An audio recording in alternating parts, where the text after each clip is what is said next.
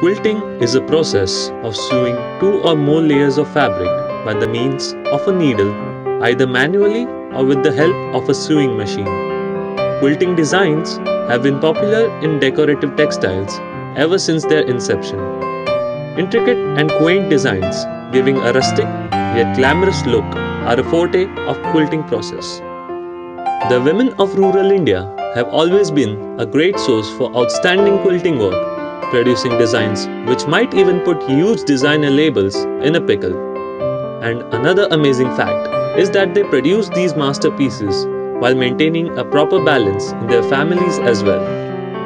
Given enough opportunities, these women can paint a magnificent picture on the canvas of the global fashion scene.